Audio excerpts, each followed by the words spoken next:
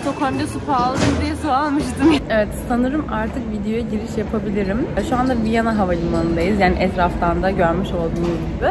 Buradan bugün Stockholm'a uçuyoruz. Bir saat sonra uçağımız var. Çok uygun bir fiyata uçak bileti bulduk. Gidiş dönüş 20 Euro'ya aldık uçak biletlerini. Bu şansı değerlendirelim dedik. Ama tabii ki biliyorsunuzdur yani İsveç gerçekten çok pahalı bir ülke. Her ne kadar Avrupa'da yaşasanız yani Avrupa'da para kazansanız bile yine de çok pahalı bir yer yani. O yüzden Stockholm'a gidiyor olmak birazcık gözümü korkutmadı değil. Ama yine uygun fiyata Booking'den kalacak bir yer bulduk. Kalacağımız yeri de yani çok merak ediyorum nasıl bir yer olacağını. Oraya gittiğimizde göstereceğim. Bize de sürpriz olacak çünkü.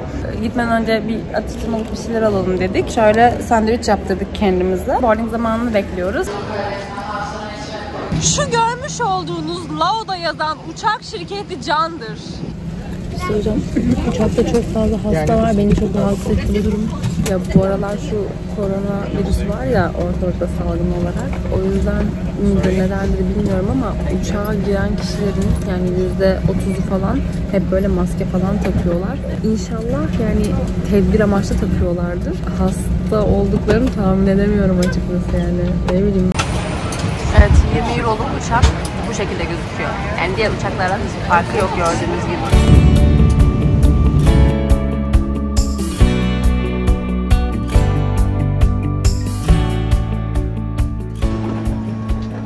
Viyana'da havayı nasıl bırakmıştık?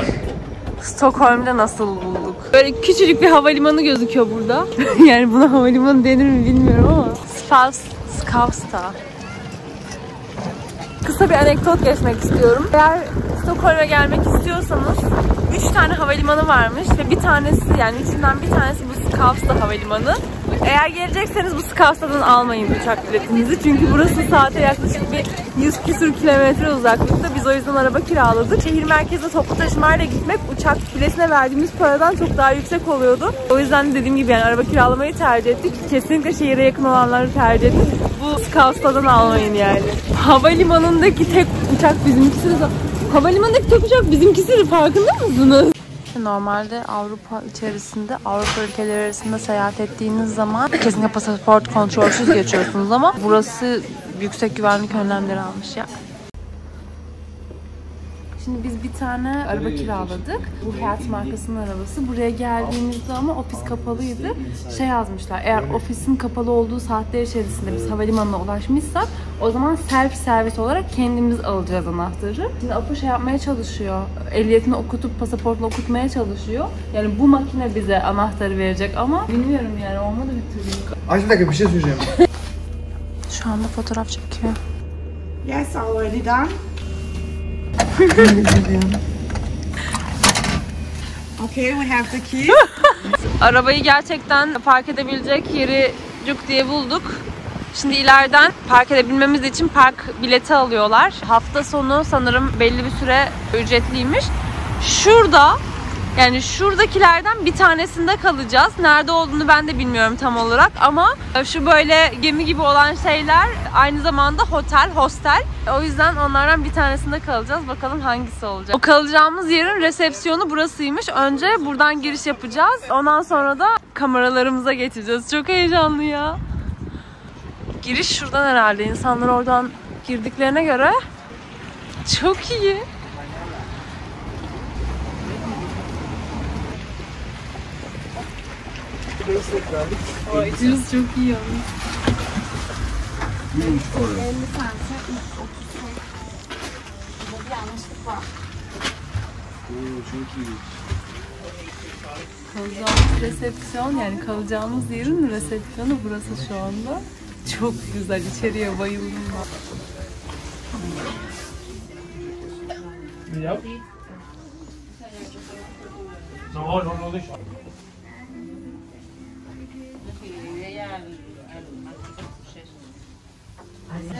çok değişik bir tecrübe olacak. Oteli yani kalacağımız kameraları kiralarken böyle birazcık tereddüde düşmüştük açıkçası. Nasıl bir şey olacak diye. Tabii ki şu anda daha kamera, kameraları görmedik ama hani acaba oda soğuk olacak mı? Sonuçta denizin üzerinde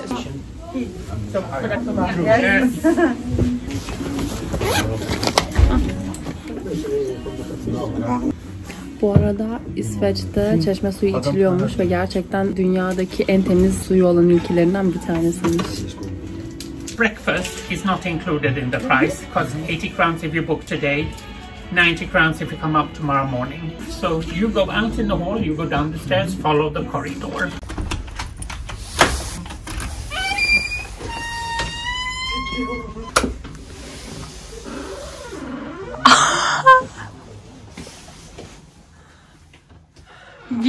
kamera.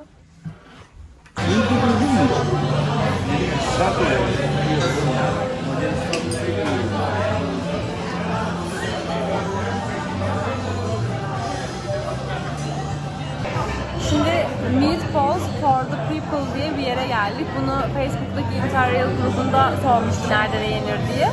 Oradan da birkaç arkadaş burayı tavsiye ettiler. Burada muhtemelen anladığım kadarıyla geleneksel İsveç köfteleri çıkıyor menü olarak. Öyle onları deneyeceğiz bakalım. Ve çok fazla çeşit var yani et olarak. Yani gelirken biraz korkmuştum açıkçası. Yani sadece domuz etinden bir seçenek mi olacak diye. Ama şu anda daha farklı et seçeneklerinin olduğunu da gördüm. Güzel yani ortam da çok güzel bu arada. Evet yemekler geldi. Bayağı iyi gözüküyor yani böyle. Biz Hüseyin'le aynı şeyi seçtik ve böyle efsane bir şey geldi.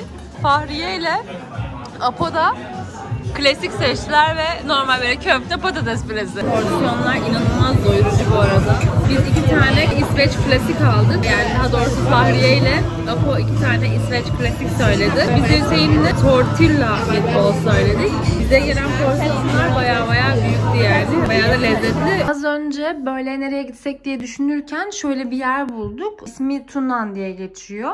İçeriği açtığımızda böyle acayip bir yerle karşılaştık. Şimdi içeriği göstereceğim size.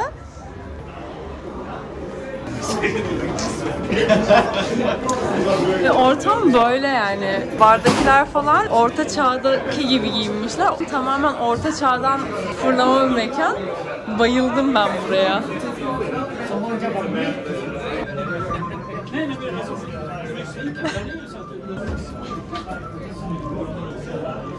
Gördüğüm gerçekten en orijinal mekanlardan bir tanesi. Yani masalarda mumlar bu şekilde, ne bileyim kasalar, bıçaklar falan yine bu şekilde. İçecekler böyle çömleklerin içerisinde geliyor. Bardaki insanlar böyle acayip bir şekilde yani orta çağdan çıkma bir şekilde giyiniyorlar. Yanımızda iki kişi oturuyor hemen şurada. Onların hesabı şu şekilde geldi. Faturanın üzerine bir tane bıçak getirmişler tam eski filmlerdeki gibi. Çok iyi ya. Günaydın. Şimdi size buradan ayrılmadan önce kaldığımız odayı göstereceğim. Çok tatlı bir yer. Hemen burası böyle koridor. Burası da yani şu 5 numarada bizim kaldığımız oda. Evet dün çekememiştim. Dışarıya çıkmak istediğimiz için erken ayrılmıştık odadan. Böyle bir kamera. Yani bildiğiniz aslında gemilerin kamerası yani burası. Böyle bir ranzası var. Şuradan daha mı güzel gözükecek? Böyle minik bir penceresi var. Ve bilmiyorum sesi duyabiliyor musunuz ama sürekli böyle su sesi geliyordu. Hatta sesi dinleyin. Duyabiliyor musunuz sesi? Yani bütün gece bu sesle beraber uyuduk ama kesinlikle hiç rahatsız etmedi yani. Bayağı sıcaktı bu arada yani kaloriferi biz birazcık sona getirdik. Ama şeyi fark ettim mesela pencere çok hafif açık kalmış. Ona rağmen kesinlikle hiç üşüme falan olmadı. Ben çok rahat uyumuşum yani gerçekten çok rahattı. Öyle yani böyle bir odamız vardı burada. Göstermek istedim. Üst katı da çekeyim eğer vaktim olursa buradan ayrılmadan önce. Burada bir tane sadece bayanlar için bir tane tuvalet banyo var. Ama aynı zamanda da ortak tuvalet var. Yine erkekler için ayrı bir tuvalet banyo var. Yani tuvalet ve banyolar erkekler ve kadınlar için ayrı ama ortak kullanımda. Burada da böyle açık büfe kahvaltısı var. Biz kahvaltı almadık. Dışarıda böyle farklı lezzetler deneriz diye.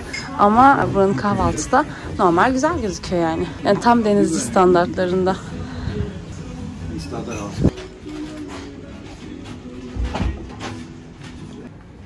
Bu videonun adı direkt Stockholm'da kaldığımız yer olabilir yani.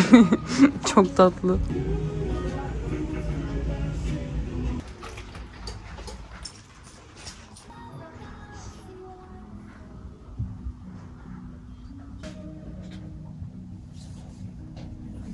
Evet buradan ayrılmadan önce kısa bir kapanış yapayım dedim burada. Burası benim yaşadığım en güzel tecrübelerden bir tanesi oldu açıkçası. Böyle bir yerin çıkmasını hiç beklemiyordum. Çünkü biz Stockholm uçak biletlerini alırken hani ucuz olmasına dikkat ederken aynı zamanda kalacağımız yerin ucuz olmasını istemiştik açıkçası. O yüzden seçeneklerden en uygun yerlere bakmıştık. Gemide bir tane kamerada kalma fikri çıkınca da çok hoşumuza gitmişti. Çok fazla beklentiyi açıkçası yüksek tutmamıştık. Ama dün buraya girdiğimizde bu atmosferi, bu ambiyansı gördükten sonra iyi ki de buraya gelmişiz dedim. Hem de şehrin merkezinde aslında yani şöyle bir 5-10 dakikada yürüyerek direkt şehir merkezinde olabiliyorsunuz yani. Birkaç günlük kalacağınız bir yer değil açıkçası. Hani eğer çok titiz birisiyseniz sanırım bir günlük bir konaklama işinizi görür. Çünkü sizin kameranızda kendinize özel bir tuvaletiniz, banyonuz yok. Kadınların tuvaleti ve banyosu ayrı, erkeklerin ayrı ama e, yine herkes ortak kullanıyor. Bir tek sıkıntısı o ama temizlik açısından ben gayet temiz buldum. Kesinlikle gelmek isteyenlere, bir gün ya da iki gün konaklamak isteyenlere tavsiye edebileceğim bir yer. Zaten ismini altta paylaşırım. Umarım buranın ambiyansını, atmosferini size yansıtabilmişimdir. Şimdi şehir turuna geçeceğiz.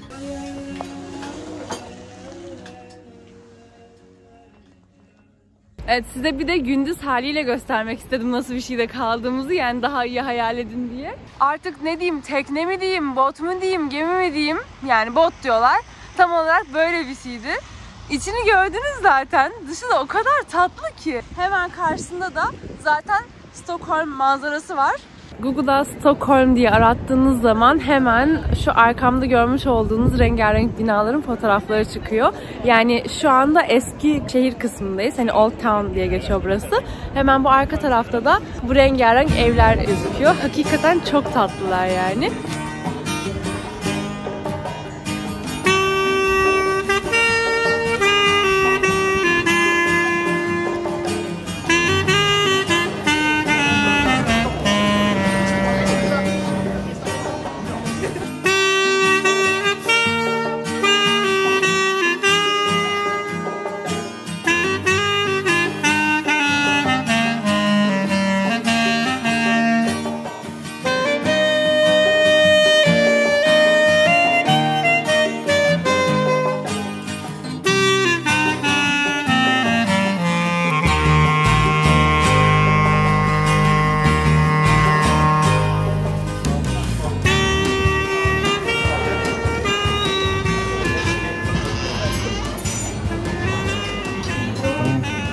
Şu anda inanılmaz tatlı bir kafeye oturduk. İlk kahvelerimizi içtik. Şimdi Fahriye ikinci kahvelerimizi almaya gitti. Çok tatlı bir inanılmaz sevimli. Ben Stockholm'un kafelerine gerçekten bayıldım. Kafeleri, restoranları gerçekten çok böyle özenle dizayn edilmiş yani. Hani ara sokaklarda böyle minik minik yerlere hemen girip ne bileyim böyle sıcacık bir kahvenizi, çayınızı içmek için çok ideal bir yer. Ama tabii ki fiyatları mesela Viyana'ya kıyasla yine pahalı geliyor insana. O yüzden hani Türkiye'den buraya seyahat edenler için diğer Avrupa ülkelerine göre en azından güneydeki Avrupa ülkelerine göre biraz daha pahalı gelebilir. Bulunduğumuz kafenin ismi Cafe Krant. Biz 4 tane kahveye böyle 2 tane de tatlıya az önce 23 euro civarında bir şey ödedik. Fahriye ikinci kahveleri alıyor çünkü kahvesi, kahvesi gerçekten çok güzel yani çok beğendim.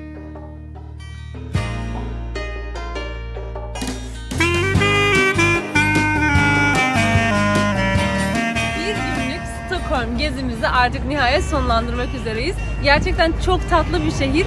Hava açısından yine çok şanslıydık. Yani bu bizim galiba e, bir günlük gezilerimizin şansı oldu hep.